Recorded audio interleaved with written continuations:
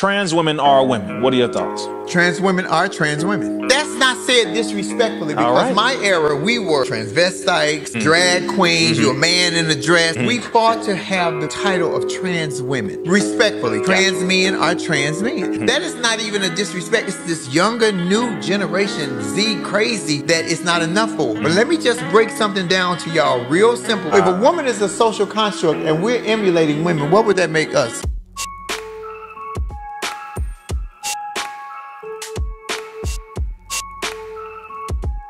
Guys, welcome back to At Liminal Period. It's your girl, Chun Li Shawty. Flame Monroe is a transgender comedian that some might say is a little controversial. Based on the intro clip that I've shared with you guys, I don't really think that there's any hot takes that she has. I actually think that's pretty base. However, if you are a part of a marginalized community and you don't subscribe to their same ideology, then you are a sellout. It is controversial. You are a pick me, whatever you want to call it. So I was actually interested in seeing how Flame Monroe thinks outside of just her comedy. And so I actually found an interview that Don Lemon had with her from about three weeks ago. And it was actually an interesting conversation. I'm going to be sharing some of the highlights of the conversation, or at least the parts that I find relevant to the conversations that we've been having on this channel. But at the end of the day, it's all interconnected. So if you have the time, do take a listen.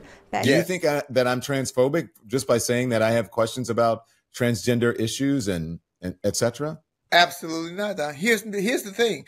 I've been a trans woman for 37 years. I still have questions about the new terminology in the trans community. I'm still mis- a little confused about certain terms. So I understand that and living in and being a part of the community for us to say that we don't understand. Imagine what it's like for somebody who's not a part of the community to hear the words non-binary or gender non-conforming and nobody explains that to them because then they don't know. The problem is we want instant gratification in the community. We want it to happen overnight. I'm old school. It doesn't happen overnight. I know the microwave is new.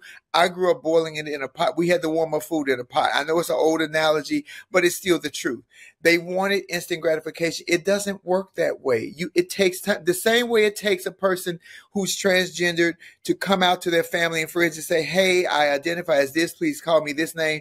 It took you years to build up the courage and the, the energy to tell them that, but we don't want to allow them time to adjust themselves to say, okay, I get it. So if they have a slip of the tongue and call you the wrong pronoun or the wrong gender, you didn't give them time just like they gave you time. You just wanted to happen overnight. This is the, the monster that we are facing with the youth. And it's the youth to me because the older trans and gay people actually understand how regular how life works. I'm not going to say regular life because life changes all the time. But there is no patience in the youth. There is no patience, Don.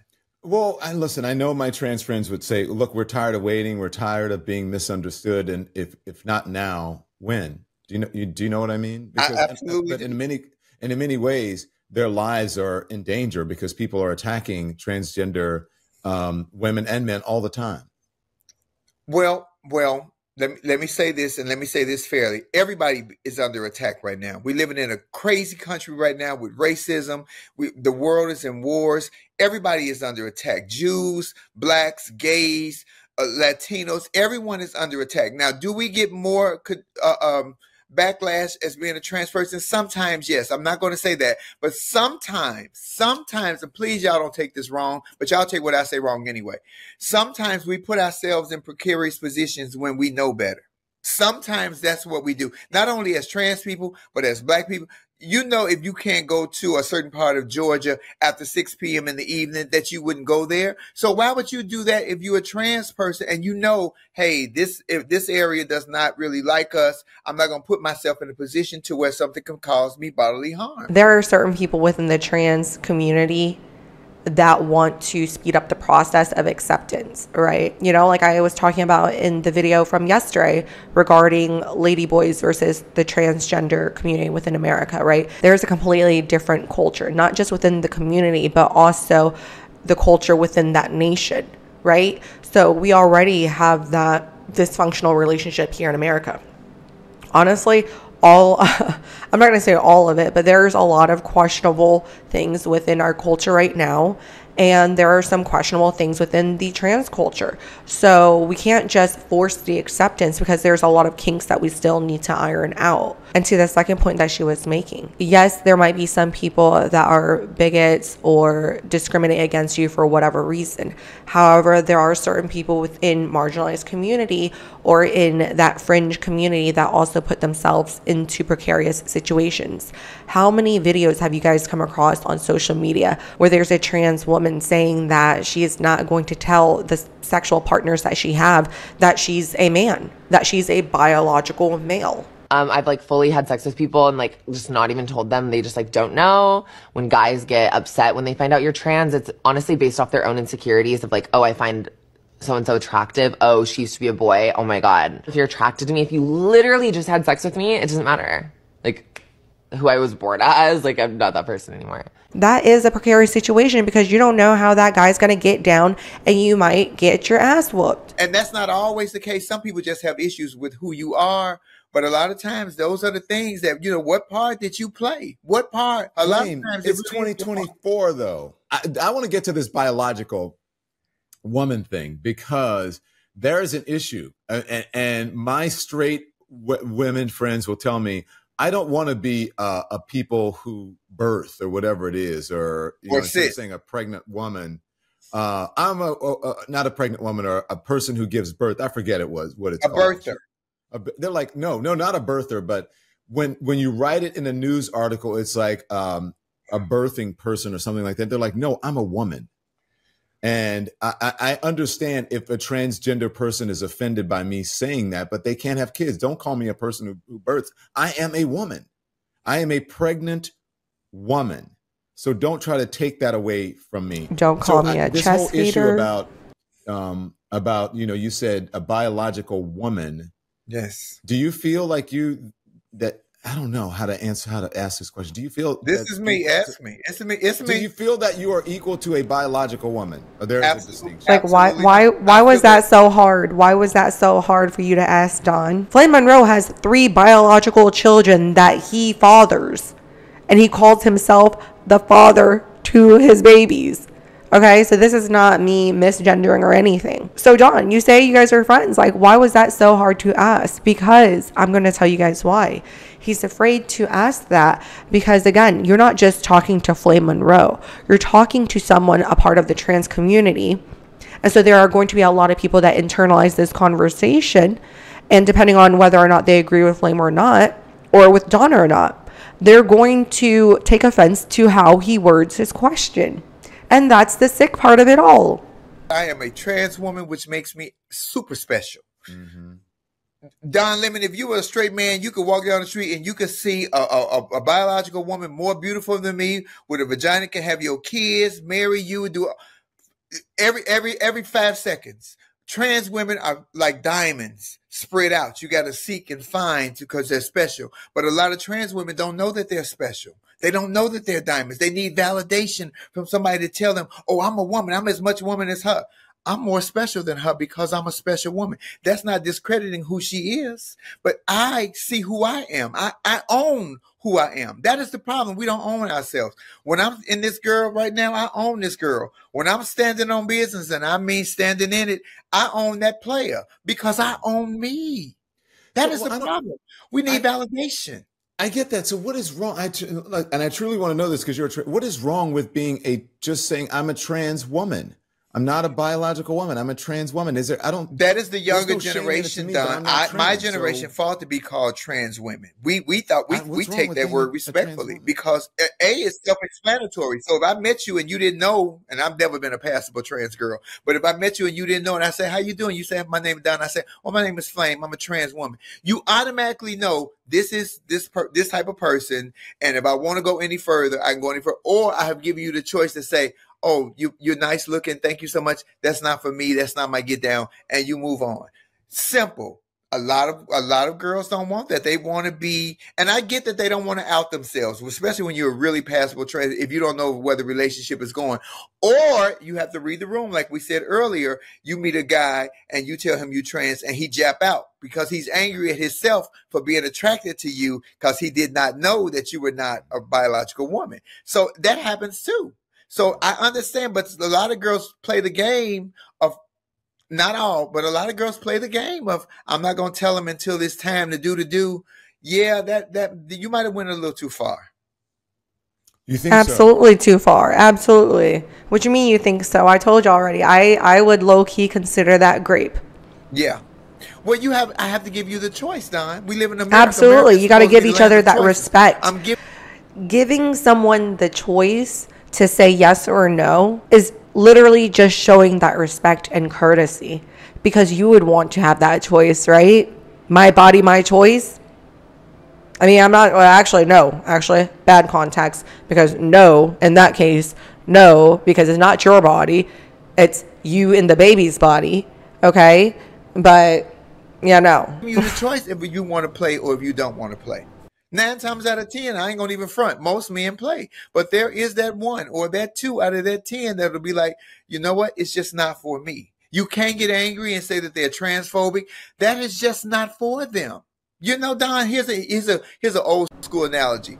I like potatoes, corn, and peas. Sometimes I like the potatoes with the peas. Sometimes I like the potatoes with the corn. Sometimes I like all three on the same fork. And sometimes I want them separately. I have a choice. Sometimes we remove the choice from people. You can't remove the choice. Oof. That's a lot. He didn't like that. We're going to be in trouble. A, a conservative podcast recently, just last week, or and it, it just it just came out a couple days ago, and they asked me about trans women in sports. Now, look, I I think it's such a small issue. There's so few that I'm shocked that it's become this huge thing. But where do you fall on trans um, women in sports? You think it's a it's it's a it's an advantage if you're born a biological man to compete in women's sports? I think it does a great disservice to the trans, the great trans athletes that we have, because they'll never know how great they are because there's not an arena to let them know how great they are. You weren't the best male athlete, so you you identify as trans, and then you go to the females team. You can't be the best female simply because your chromosomes don't allow you to be female. So why would not the Laverne Cox it created a lane for Laverne Cox? She damn sure didn't get on Time magazine for her acting, and damn sure not that singing. Let me just be honest. but because she created her own lane, she is that Laverne Cox. T.S. Madison created her own lane on the internet, which is why she is T.S. Madison. There's no competition. Flame Monroe is the only transgender comedian or the only comedian of trans experience that works mainstream because I created my own lane. So I know how good I am against somebody that's just like me. You'll never know that because they've never been afforded that opportunity. Look at Eunice Shriver. There, she has special needs kids and no place for them to compete. They created the, the special needs Olympic in 68 in her backyard with six or seven kids. Don is worldwide now. That's what we want instant gratification. The world doesn't work that way. And again, to be celebrated and not tolerated. Look at the young trans girl who ran last week in Oregon and won over all the other, the sophomore in high school. And they booed her and sneered her and called her wretched names at 15. I'm 50. I've never been booed, but I can only imagine how that feels. And at 15, when you're just finding your identity, just coming into your own to be booed by an arena full of people, imagine what that would do to this child's ego. Now, what if this child kill herself? I'm, I'm, I'm- this is just a scenario. Who they gonna blame? Who who are they? They're gonna blame the people that boo her, or blame the people who did not create a lane for her to have a safe space to feel celebrated, to feel loved, and to feel like a champion. I'm not saying I agree with everything that Flame Monroe has to say. I'm, I, I don't agree with anybody on everything, okay? But I for sure appreciate her perspective. And I'm going to say it like this I don't think that she actually has a toxic or exploitative mindset towards the trans identity or the trans community. And what I mean by that is there are plenty of people that see that that's an opportunity for them to garner additional attention. So when you have a sincere interest in actually trying to come to a solution or a resolution, I think it would be super helpful if Candace Owens was to be able to sit down with Flame Monroe and have the conversation, right? She's been dabbling into the conversations that are happening within Black Twitter space, being able to actually come together because of our ideas and our values and not just feel like we have to be divided and separated based on politics. So, Flame, Flame, are you saying there should be a there should be a special category for trans women in sports, uh, and they should not be competing. And men, not just trans women, trans men, trans women and men. Yeah, so it shouldn't. They should not be trans people should not be competing with um, heterosexual men or, heteros- or, or biological men or biological women. Don, you froze. I'm not gonna say heterosexual. There, there are gay athletes. There are gay men and gay women, but their Why- biology. why did he get that gay. mixed Right, up? yeah, No, I don't- I that- think that we was the should wrong have thing. I meant biological men and women, not, not heterosexual. I hope Yes, that's what you yes, meant because yes. some people do conflate your gender with your orientation. And again, like that's like I don't understand why the trans umbrella is even under the LGBT or the LGB spectrum, right? Because being a lesbian, being bisexual, being gay, that's all a sexual orientation. Being trans is almost completely opposite of that. It's almost oxymoronic. People within the gay community say that they're born that way, right? Like that's what they were fighting for. That was their anthem. Lady Gaga, I was born this way. And now with the trans community, it's completely opposite. Nope, I was born in the wrong body. So, anyways, uh, like maybe like later on, I'll do another conversation because it's actually really funny. But lesbians happen to be some of the biggest opponents of trans women, and it's because again, you identifying as a trans woman does not make me a natural born woman who is a lesbian any more attracted to you. Yeah, I, I think that it would call it would show fairness. It would show include. That's the word that we love to holler inclusion. This whole drag queen story hour thing. Do you think it's appropriate for kids to have drag queens in their class when they're in nursery school, first grade, kindergarten? Oh, Don, you trying to get me in trouble. Let me let me say how I feel about this for, as a trans person. I have and a parent because I'm coming at this from two angles. I'm a trans person, but I'm also a parent, and th- and three, I'm also an entertainer. I think it's the responsibility of the entertainer to say, "Hey, it's kids in here. If I'm going to do dressed up like Mrs. Doubtfire or Barney or, or a cartoon character that they're very familiar with, with all my clothes pulled up, I think that's pretty. I think it's safe, with, especially with the parents there. But if some of these drag queens that do these drag queen story times say, "Oh, I'm gonna dress like Beyonce with your ass out and your fake titty breast out and woo woo woo," Beyonce has three children. I don't know Beyonce, but I've met her mom, Miss Tina, lovely woman. I can guarantee you, Beyonce don't sit there with her ass out reading stories to her own children. You have to read the room. There is a responsibility on all levels with this, Don. I, I agree with it in some capacities because I think it will help to teach the children that there are different people in the world, different lifestyles. But I think as far as the performer and the person who books the performer, hey, cover yourself up. Look like a Mormon, look like a nun, whatever it is. You're here to tell a story. You're not here to be the damn story. That part. You're here to tell the story. You're not here to be the damn story. And I think like that's a big part of the problem that people from the outside have with the trans community and that people in the trans community seem to want to be the center of attention or want the focus all on them. They want everyone to coddle them, to kowtow down to them. And that's just not the way the world works, right? So going back to story time with drag queens or drag queen story time, whichever it is, I think it is really dependent. What is the situation? Like, is it like a school where, hey, on a weekly, every other week, monthly basis, we're bringing in different people within the community?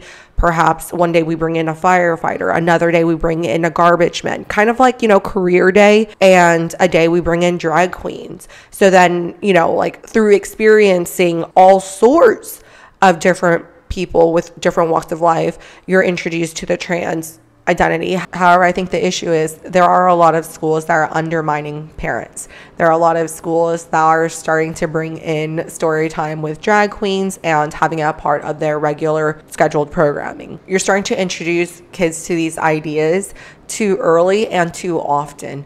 There's nothing wrong with understanding and knowing that there are drag queens within society. However, again, you're kind of low key grooming them to become this.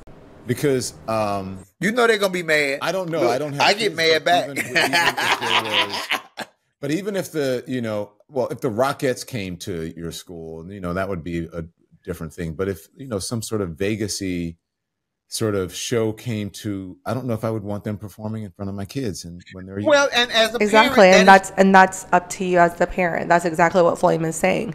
It's up to you as a parent to provide consent on whether or not you want your child to participate in school that day. is your option to say, "Hey, I'm not comfortable with that. My kid is not mm-hmm. coming to school that day. My kid, I, I don't want my kid."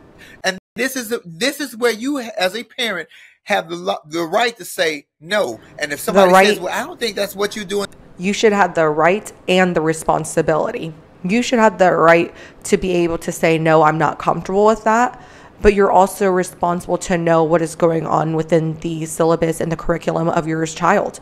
A part of the issue is that parents don't realize that this is happening within the classrooms. They don't realize that their kids are being introduced to these ideologies, to different pronouns, to different genders from early ages like kindergarten and first grade.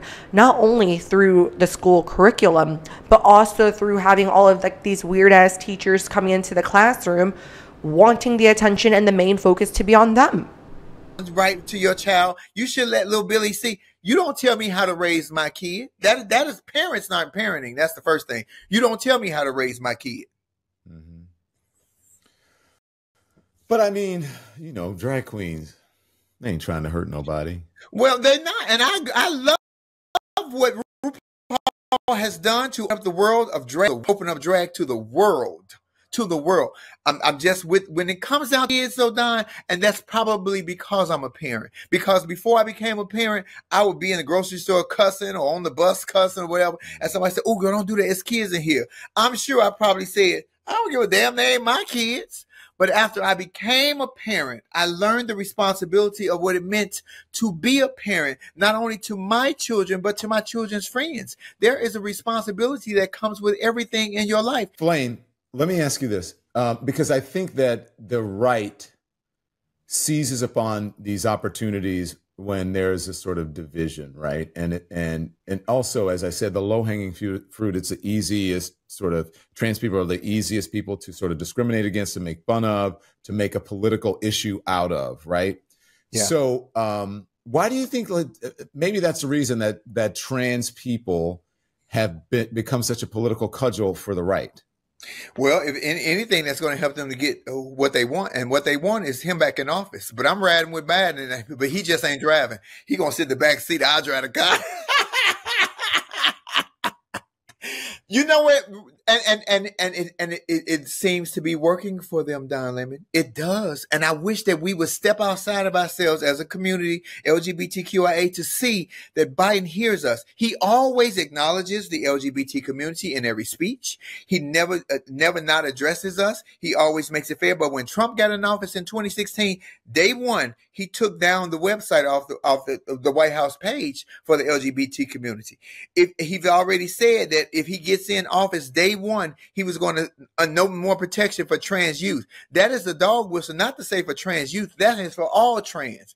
But we don't hear that because we so caught up in the distraction of pronouns and bathroom rights and how do I identify. You know how you identify. You know better than anybody else. As you as an individual.